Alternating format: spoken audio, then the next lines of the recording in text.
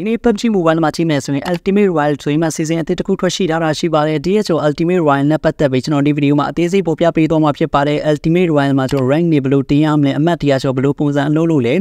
နောက်တစ်ခုကဘယ်လိုပုံစံ reward တရားရှိမလဲစီမင်းစည်းကမ်းနေရာစအသေးစိတ်ဖော်ပြပေးသွားမှာဖြစ်ပါတယ်ပထမဆုံးတကယ်ကျွန်တော် season နဲ့ဝင်လိုက်ပါဒီမှာကြည့်မယ်ဆိုရင် Ultimate Royale တွင်းမြင်ရမှာဖြစ်ပါတယ်ဒီ event ရဲ့အချိန်ကိုပြောရမယ်ဆိုရင်တော့23ရက်9လနဲ့14ရက်17လထိသွားမှာဖြစ်ပါတယ် ဒီမှာကျွန်တော်ပုံမှန်စီစဉ်ဖို့ရစပြီးမှနှစ်ပတ်နောက်14ရက်နောက်ကျဒီကျွန်တော် Ultimate Royale လို့တွေးမိရမှာဖြစ်ပါတယ်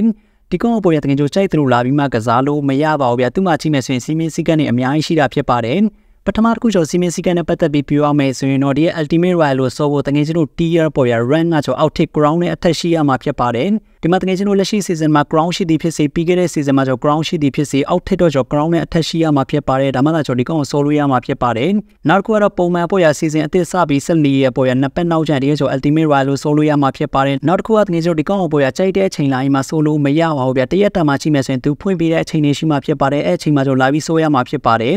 weekday ပေါ့ဗျာတနင်္လာနေ့ကနေတောက်ကြနေ့မှာကြည့်မယ်ဆိုရင်တော့သူကတရက်ကို6နာရီဖွင့်ပေးမှဖြစ်ပါတယ် weekend ပေါ့ဗျာစနေတနင်္ဂနွေမှာကြည့်မယ်ဆိုရင်တော့ တရက်ကိုကျော်12နာရီဖွင့်ပေးမှာပဲဖြစ်ပါတယ်ဗျာဒါပေမဲ့တကယ်ကျော်ကြိုက်တဲ့အချိန်လားဆိုလို့မရပါဘူးဗျာသူကအချိန်လေးပေါ်ပြပေးထားရှိပါတယ် UTC နဲ့ပေါ့ဗျာ North America Europe Asia South America Middle East KRGP ဒီမှာကျွန်တော်က Asia ဆိုတော့ခါကျတော့ပေါ့ဗျာ Asia နဲ့ပတ်သက်ပြီးမှပဲပြောပါမယ်အမှန်လည်းကျွန်တော်မြန်မာနဲ့ပတ်သက်ပြီးမှကျွန်တော်အချိန်ကိုပေါ်ပြပေးပါမယ်ဒီမှာတကယ်ကျော်လက်ရှိပေါ့ဗျာတဲ့ကျွန်တော် Ultimate Royale လေးဝင်လိုက်တယ်ဆိုတော့ coming soon ဆိုပြီးမှပေါ်ပြပေးထားရှိပါတယ်ဒါပေမဲ့ကျွန်တော်ဒီဗီဒီယိုလုပ်နေတဲ့အချိန်ဖြစ်ပါတယ်ဒီမှာကျွန်တော်ဗီဒီယိုတင်တဲ့အချိန်ပေါ့ဗျာတကယ်ကျော်ဒီကောင်ကိုကစားလို့ရနေလေရလောက်ပါပြီဗျာဘာလို့လဲဆိုတော့ဗီဒီယိုတင်တာနေနောက်ကျမှဖြစ်ပါတယ် သူက7နိုင်ကနေ18နိုင်ဆိုရင်မှပေါ်ပြပေးတာရှိပါတယ်ဒီကောင်ကျော် UTC ပြောတာဖြစ်ပါတယ်ဒီမှာကျွန်တော်မြန်မာစံတော်ချိန်နဲ့ပတ်သက်ပြီးပြောရမယ်ဆိုရင်တော့ညနေပေါ်ဗျာ9နိုင်ခွဲကနေည7နိုင်ခွဲထိဒီကကျော် Ultimate Royale အချိန်ကကျော်ပွင့်မှာဖြစ်ပါတယ်အဲ့အတွင်းမှာတကယ်တို့ကစားရမှာပဲဖြစ်ပါတယ်ဗျာဒါတနင်္လာနေ့ကနေတောက်ကြနေအတွင်းအချိန်ကိုပြောတာဖြစ်ပါတယ် ဒီမှာတကယ်ကျထိုင်းရနေစွန့်နေရဆိုရင်တော့နိုင်ခွဲတူလိုက်ပါည6နိုင်ရနေည7နိုင်အတွင်းပွဲတကယ်ဆိုလို့ရမှာဖြစ်ပါတယ်ဒီမှာကျွန်တော်နောက်တစ်ခုကတော့ weekend ပွဲဗျာစနေတနေ့ကနေမှချိန်မယ်ဆိုရင်မြန်မာစံတော်ချိန်နေ့လယ်7နိုင်ခွဲကနေည7နိုင်ခွဲထိတကယ်ကျဆိုလို့ရမှာဖြစ်ပါတယ် okay ဒါဆိုရင်နောက်တစ်ခုကတော့ကိုယ်ဖွဲ့တကယ်ချင်းဆိုလို့ရတယ်လို့ကျွန်တော် random team နဲ့လည်းကျွန်တော်ဆိုလို့ရတာဖြစ်ပါတယ်ဒါဆိုပုံမှန်ပဲဖြစ်ပါတယ်နောက်တစ်ခုကတော့အစတုန်းကကြည့်မယ်ဆိုရင်တော့ပေါ့ရမီရာမာမြေဝန်လည်းကျွန်တော်ဆိုလို့ရမယ်ဆိုရင်မှ trash ခဲ့တာမျိုးရှိပါတယ်ဒါပေမဲ့ကျွန်တော်အခုချိန်မှာကြည့်မယ်ဆိုရင်တော့တကယ်ကျ Irandal မြေဝန်တစ်ခုတည်းမှာပဲဆိုလို့ရမှာဖြစ်ပါတယ် အဲ့မှာလည်းကျွန်တော် TPP squad ပဲဆိုလို့ရမှာဖြစ်ပါတယ်ဗျာတစ်ယောက်ပွဲတို့နှစ်ယောက်ပွဲတို့ဆိုလို့မရပါဘူးဗျာလေးယောက်ပွဲပဲဆိုလို့ရမှာဖြစ်ပါတယ် player ကပေါ့ဗျာအယောက်100တွေးမြင်ရမှာမဟုတ်ပါဘူးဒီမှာကြည့်မယ်ဆိုရင် player 64ယောက်တွေးမြင်ရမှာဖြစ်ပါတယ်အသင်းကျော်16တင်းတွေးမြင်ရမှာဖြစ်ပါတယ် bot တကောင်မှမပါပါဘူးဗျာဟုတ်ပါနေ bot တွေပါတယ်ကျွန်တော်ဘာမှတွေးမြင်ရမှာမဟုတ်ပါဘူးဗျာနောက်တစ်ခုကတော့ play zone အချိန်နဲ့ပတ်သက်ပြီးပြောရမလား blue zone DK way နဲ့ပတ်သက်ပြီးပြောရမလားဒီ blue zone ငါပေါ့ဗျာတစ်စက္ကန့်ကျွန်တော် damage ဘယ်လောက်ပေးလဲအဲ့ဒါနဲ့ပတ်သက်ပြီးပြောရမလား အားလုံးကပေါ့ဗျာ e-sport tournament အတိုင်းသွားမှာဖြစ်ပါတယ်နောက်တစ်ခုကတော့ကျွန်တော်ပစ္စည်းတွေနဲ့ပတ်သက်ပြီးပြောရမယ်ဆိုရင် e-sport tournament ပေါ့ဗျာတဲ့ပြိုင်ပွဲတွေအတိုင်းသွားမှာဖြစ်ပါတယ်ပစ္စည်းတွေတကယ်ကျွန်တော်ပို့ပြီးမှတွေ့မြင်ရမှာဖြစ်ပါတယ်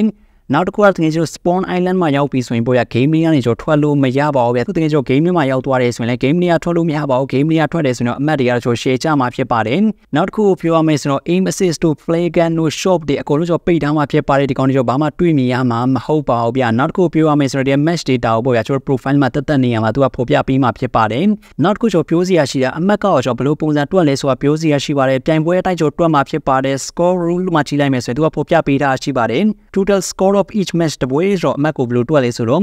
elimination point တကယ်ဆိုရန်သူဘယ်နှယောက်ရှင်းလဲပေါ့ဗျာအဲ့ဒါနဲ့ဆို rank point ကိုသူကပေါင်းပြီးမှဆိုအမှတ်ကိုယူတာဖြစ်ပါတယ်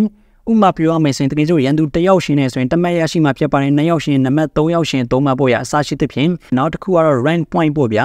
တကယ်ကျတော့ chicken dinner စားတယ်ဆိုရင်တော့15မဲရရှိမှဖြစ်ပါတယ်တကယ်ကျတော့ဒုတိယဝင်နေဆိုရင်တော့12မဲရရှိမှဖြစ်ပါတယ်တတိယဝင်နေဆိုရင်10မဲပေါ့ဗျာအစရှိသဖြင့်နောက်ဆုံးတကယ်ကျတော့အဆင့်8မှာဝင်နေဆိုရင်တော့တမဲရရှိမှဖြစ်ပါတယ်အဆင့်9ကဝင်နေဆိုရင်တော့3ရရှိမှဖြစ်ပါတယ်အဆင့်10မှာတကယ်ကျတော့တည်သွားတယ်ဆိုရင်တော့အနှုတ်ကကျော်စရီဖြစ်ပါတယ်ချီချီပါစနစ်မှာတည်တယ်ဆိုရင်အနှုတ်လေးနောက်ဆုံးတကယ်ကျ16မှာတည်တယ်ဆိုရင်ပေါ့ဗျာအနှုတ်15ကျော်သွားမှာပဲဖြစ်ပါတယ်ဗျာဒီ ultimate royal မှာကြည့်မယ်ဆိုရင်ကြည်ရလေကိုယ်တိုင်ဖြည့်ရမှာဖြစ်ပါတယ် auto ကျော်ဖြည့်ပြီးမှမဟုတ်ပါဘူးဗျာအဲ့လိုပုံစံပေါ့ဗျာတော်တော်လေးကိုခက်တာဖြစ်ပါတယ်စူးစမ်းပြီးကျော် run တင်ရမှာပဲဖြစ်ပါတယ်ဗျာနောက်တစ်ခုကျွန်တော် tier rule နဲ့ပတ်သက်ပြီးပြောရမယ်ဆိုတော့သူ့မှာပေါ့ရဆူဆူအောင်ကျွန်တော် rank 5ခုရှိတာဖြစ်ပါတယ် Vanguard AC Supreme Peerless Legend ပေါ့ဗျာ Vanguard ကတော့ကျွန်တော်အနှိမ့်ဆုံးပဲဖြစ်ပါတယ် point 1000အစားတာဖြစ်ပါတယ် Vanguard မှာရှိမယ်ဆိုရင် Vanguard 1 Vanguard 2 Vanguard 3 Vanguard 4 Vanguard 5ဆိုရင်မှတွေးမိရမှာဖြစ်ပါတယ်ဒီမှာတကယ်ကျွန်တော် point 100တက်တိုင်းပေါ့ဗျာဒီကျွန်တော် mini tier ရတက်မှာဖြစ်ပါတယ်ဥပမာဆိုကြပါစို့ဗျာဒီကောင်ကျွန်တော် Vanguard ဆိုတော့ကျွန်တော်လက်ရှိမှာဘယ်လောက်ရှိလဲဆိုတော့ Vanguard 5မှာရှိတာဖြစ်ပါတယ်ကျွန်တော် point 100တက်သွားပြီဆိုရင်တော့ Vanguard 4ကိုတွေးမိရမှာဖြစ်ပါတယ် point 100ကျွန်တော်ထပ်ရရှိတယ်ဆိုရင်တော့ Vanguard 3 Vanguard 2 Vanguard 1ပေါ့ရအဲ့လိုပုံစံအဲ Vanguard ပြီးသွားပြီဆိုရင်တော့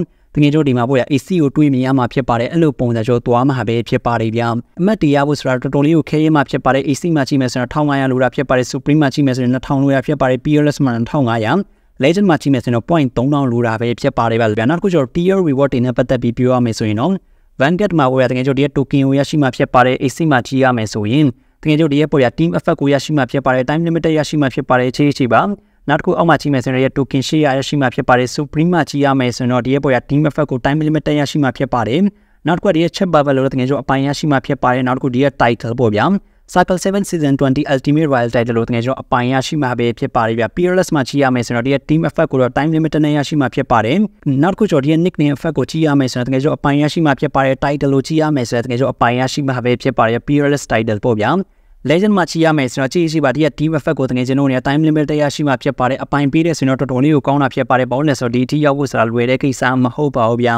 နောက်တစ်ခုကဒီက name change ကပ်ပေါ့ဗျာပုံမှန်ဆိုရင်တော့ name change နဲ့ဆိုရင်အဖြူအောင်စာပြတာမျိုးရှိပါတယ်ဒီကောင်ကိုချိရမယ်ဆိုတော့အနည်းအောင်စာသားနဲ့ပြမှာဖြစ်ပါတယ်ဒီကောင်ကျွန်တော်ရရှိမှာဖြစ်ပါတယ်နောက်တစ်ခုကတော့ဒီရဲ့ title ပေါ့ဗျာကြည့်ကြည့်ပါ title မှာကြည့်ရမယ်ဆိုရင်အနည်းအောင်ကျွန်တော်ပြီးရမျိုးရှိပါတယ် animation ပေါ့ဗျာဒီရဲ့ title လို့အပိုင်ရရှိမှာပဲဖြစ်ပါတယ်ဗျာဒီရဲ့ title ရှိတဲ့သူကတော့ငွေကျွန်တော် CI လို့ပြောလို့ရပါတယ် boundless ဆိုတော့ legend ရောက်ဖို့ဆိုတာကျွန်တော်လွယ်တဲ့ကိစ္စမဟုတ်ပါဘူးဗျ point တွေတော်တော်လေးကိုကျွန်တော်ယူရမှာဖြစ်ပါတယ်တော်တော်လေးကိုစူးစမ်းရင်မှပြည့်ရမှာဖြစ်ပါတယ် okay ဒါဆိုတကယ်ချင်းအောင်အနေနဲ့ပို့ရတယ်ဆို ultimate royal နဲ့ပတ်သက်ပြီးမှကျွန်တော်ကောင်းကောင်းနားလည်သဘောပေါက်သွားပြီလို့ကျွန်တော်မျိုးလင်းမှာနေဗျဒါဆိုကျွန်တော်လက်ရှိဒီဗီဒီယိုလေးကတော့ဒီလောက်ပါဗျတကယ်ချင်းအားလုံးအနေနဲ့ဒီဗီဒီယိုလေးကိုလည်းတက်မယ်လို့လည်းကျွန်တော်မျိုးလင်းမှာနေဗျအခုလိုဗီဒီယိုချစ်ရှုပေးတဲ့တကယ်ချင်းအားလုံးကိုလည်းကျွန်တော်ဒုပင်ကျေးဇူးတင်ရှိပါတယ်ဗျ